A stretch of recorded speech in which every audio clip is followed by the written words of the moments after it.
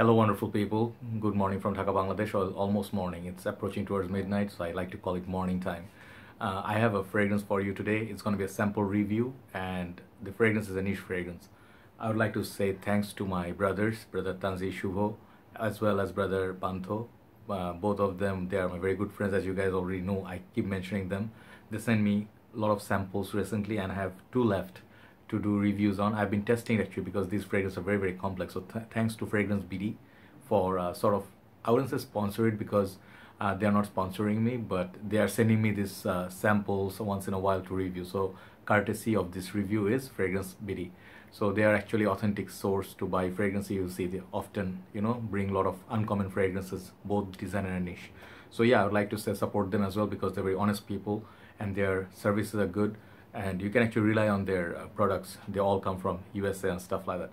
So, so the fragrance today we'll be looking at, uh, it's called Tango by Masque Milano. I think that's how you said. I have a 2 ml sample. This comes in EDP concentration, and uh, I think it's for both men and women. Very nice, uh, unique fragrance, and I have plenty to say about this after testing. I have the dry down on my hand for some time. I will respray it to let you know my uh, thoughts on both opening and dry down what to expect. And who's this fragrance for? Because it's a very expensive fragrance. Uh, so the fragrance i think it comes used to come in 100 ml before. And now it's like 35 ml bottle if i'm not mistaken. I saw it somewhere recently. I think Luckyscent or somewhere they're selling 5 ml and uh, like not 5 ml 2 ml samples and 35 ml bottle. So the new 35 ml bottle looks really i mean i'm having it in front of me in fragrantica looks nice. The juice color is pretty nice. The bottle looks like a kind of small like uh, Nasomatto bottles but I'll put a picture up top. Um, so the fragrance the 35 ml is gonna cost you 150 dollars okay? So that's not cheap. Uh, but there are much more pricey fragrances out there. So is the fragrance worth looking at? Because not to me you know like I always look at I tell you I always look at the value what you get and I always look at the price point. Definitely you know you have to have some sort of balance in the world um, so let's see what it feels like. So I'll show you the sample here. It's pretty awesome. It's all matte black. Pretty cool. So the name I I do not have whole information on this. I'm just gonna try to read out. Uh, the name is here and there's some sort of like a flame going on here and it says three to four you know like here. I guess it's the number of the fragrance I don't know. And then it says the name of the perfumer. Her name is Cecile Zarokian. I could be butchering that name. I'm really sorry if I am and it says Masque Milano, the name of the house. Back is pretty cool because uh, they provide all the notes breakdown here. Head notes, hard notes, base notes. They call opening top notes as head notes. Pretty interesting. It says Tango, EDP. Pretty like a lot of information. It's made in Italy. So you get a lot of information and I'm going to be very careful because I have dropped my samples before and broken them. Hopefully it doesn't happen here. Inside, the best thing is there is nothing, no picture, no description, nothing. It's just niche, niche-like and the sample lays there.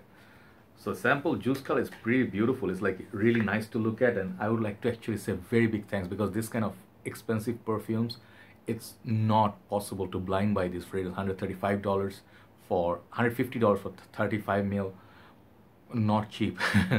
so uh, yeah, they look at the juice color, brilliant, rich, like ambery juice color. And I'll show you a couple of fragrances, what it reminds me of and what does it smell like as I go.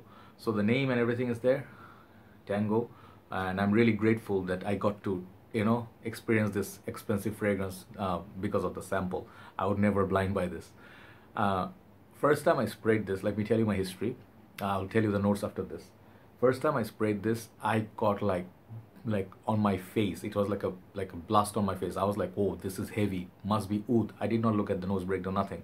And I thought it's a oud based fragrance that is westernized kind of oud and it's gonna be like smoky, spicy, and rose element.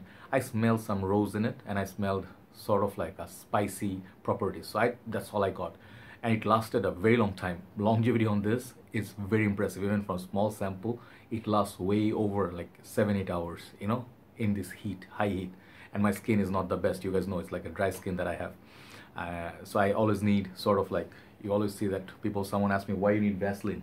People having ideas no Vaseline I need because I have really dry skin after shower everything. Without that I do not go anywhere. It's like I am a monster and everything gets like dry and stuff scary for me. So I need uh, Vaseline. I need stuff like even the these things, you know, petroleum jelly and stuff. So yeah, I'm kind of girly. So so Masque Milano, this fragrance first time I got, I tried it and I put it back immediately because I wanted to review the other ones. They're easier to review. 24 Gold Eyes. Um, they sent me uh, this other one by Kilian Black Phantom. I did like three Yatagan. Even Yatagan is not as uh, challenging as this. So this is a very interesting fragrance, but it's not for everybody. It's not for the faint of heart.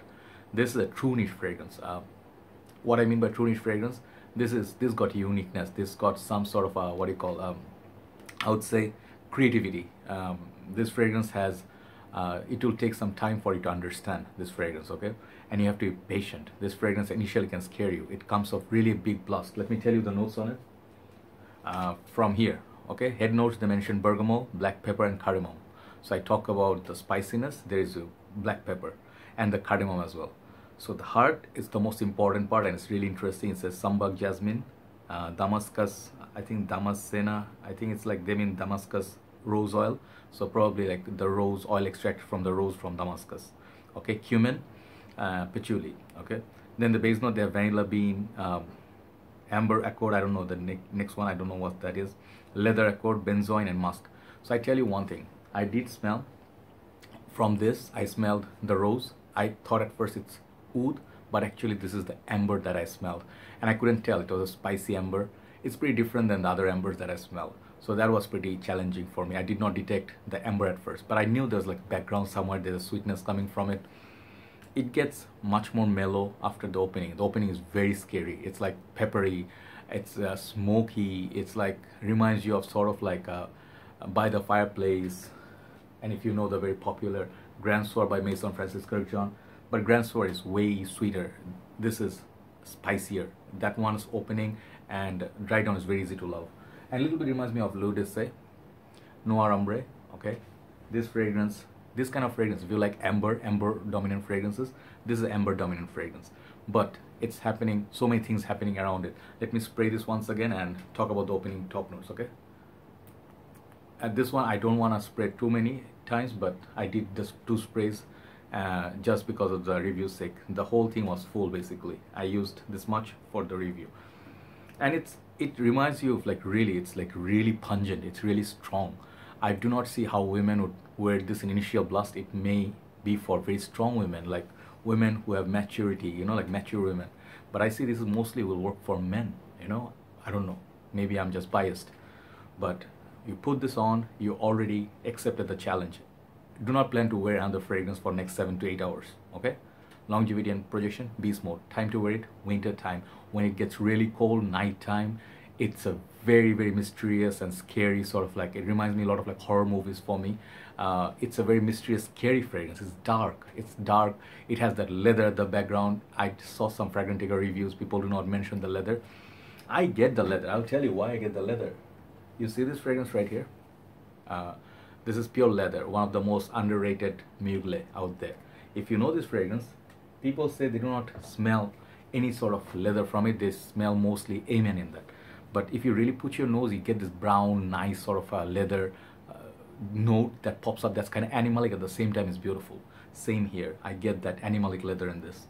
That's one dimension. Next is that cardamom, rose, jasmine, as well as I think the pepper somewhere there but there's something else somewhere deep down there. It's not a typical rose like a rose water. The Taif rose no not a Taif rose the Damascus rose whatever it gets darkened in here okay? It gets kind of like a jammy rose sort of but not sweet. It's like a spicy rose note in this. So the amber I think it combines with those notes.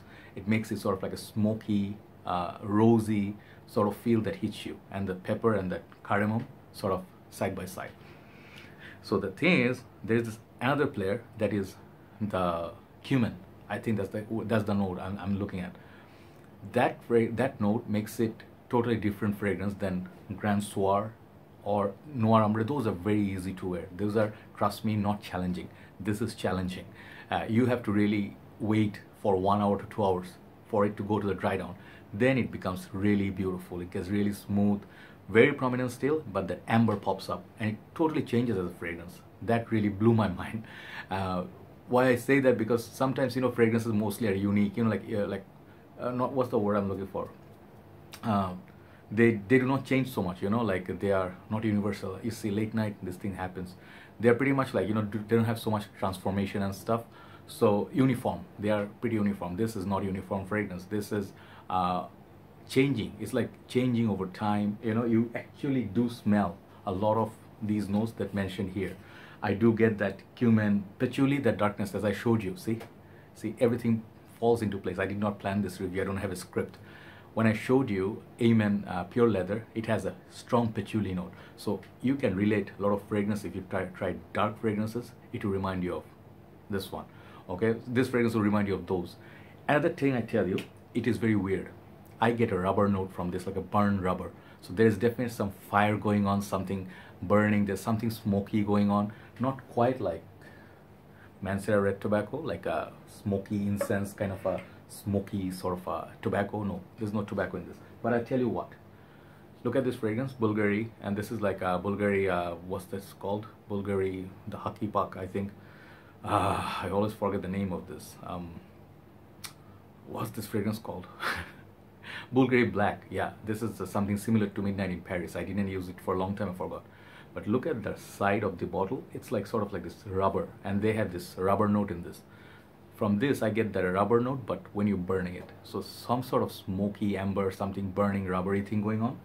And I'll tell you the most important and most interesting part. I have smelled some fragrance from Russian Adam you know? Aris Dore and they have a few others. They have very very strong challenging openings.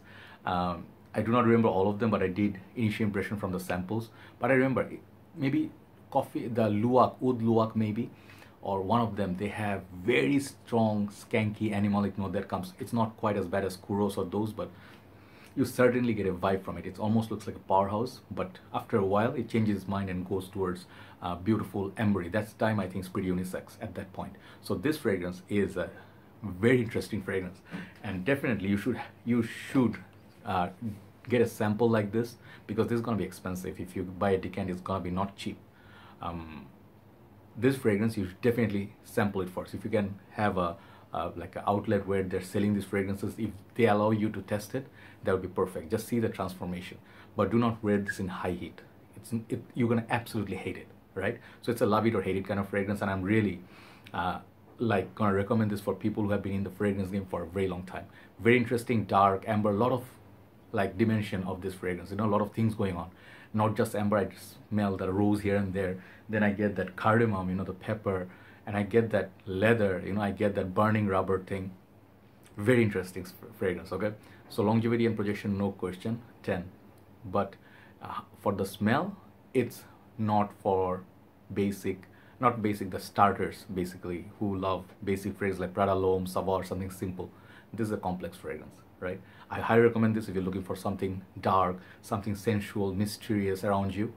Uh, it's gonna create a beautiful aroma around you in the evening time during the winter. Okay, so this fragrance, it's definitely like love it or hate it. How much I like it, I like it because I love this kind of fragrances. For me, it's gonna get like that 9, 10 sort of. You guys, you see where I'm going with this. But if I'm gonna suggest to people, I'm say gonna say try it. Do not blind buy it it's a love it or hate it kind of fragrance. You might fall in love with it after the transformation. You might absolutely hate it and call it a pass. No problem because this is an expensive perfume and it's acquired taste. So thank you so much Fragrance BD. Uh, overall this fragrance I'll give it for overall people out there. I would say 85% people will pass on this. That's my best guess. But the rest of the 15% who like to explore, take risks, this is for people. This is for people like who like to explore? Christopher Columbus. No, Columbus. No, I don't see him wearing this. Uh, people, you know, like who are adventurous people. You know, like they go out in the nature. They do not know what's gonna happen, but they still do it anyway. They jump, they leap. You know, this for people who have faith. You know, they just try to take their chance with life. Beautiful fragrance. Okay, uh, masterpiece sort of a fragrance, but price is expensive. So overall, for the price and the quality, it it's nine for me. Okay, that's my review on this. So thank you so much for the sample once again fragrance BD and hopefully you enjoyed the review even though it's a bit long really wanted to discuss this kind of fragrance it's always a pleasure smelling it and how much just don't spray more than one from the bottle it, this 35 ml bottle gonna last you for a very long time this fragrance has no issue with performance everybody take care i'll see you soon. Thanks for watching. Bye bye